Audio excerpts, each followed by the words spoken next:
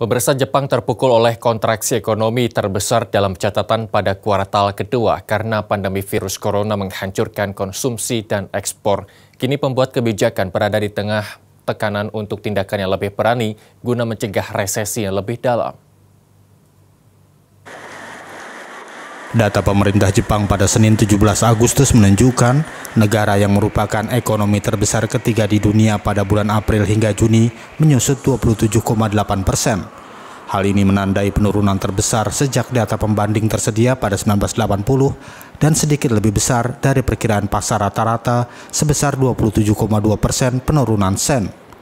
Menteri Ekonomi Yasutoshi Nishimura mengakui pembacaan PDB cukup parah tetapi menunjukkan beberapa titik terang seperti kenaikan konsumsi baru-baru ini. Dalam konferensi pers, ia mengatakan pihaknya akan terus melakukan upaya terbaik untuk menempatkan ekonomi pada jalur pertumbuhan setelah mencapai titik terendah pada bulan April dan Mei. 4、6月期の大半であります4月、5月に緊急事態宣言を発出いたしまして、 まあ、いわば人為的に経済を止めていた状況でありますので、その影響でこうした厳しい結果となっております。すみません。4月、5月をそこにですね、もう一度成長軌道にしっかりと戻っていくように全力を挙げていきたいと思っております。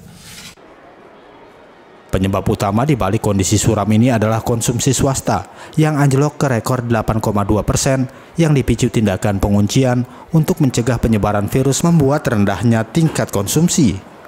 Permintaan eksternal atau ekspor dikurangi impor memangkas rekor 3,0 poin persentase dari PDB karena pengiriman luar negeri anjlok 18,5 persen, di mana ekspor mobil merupakan yang terpukul paling keras.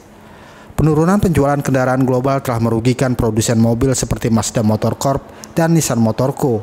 di antara pendorong terbesar ekonomi Jepang dan pemasok suku cadang mereka. Belanja modal turun 1,5 persen pada kuartal kedua, kurang dari perkiraan pasar rata-rata untuk penurunan 4,2 persen karena investasi perangkat lunak yang solid menutupi pengeluaran yang lemah di sektor lain. Dari Tokyo, Jepang, kontributor Nusantara TV melaporkan.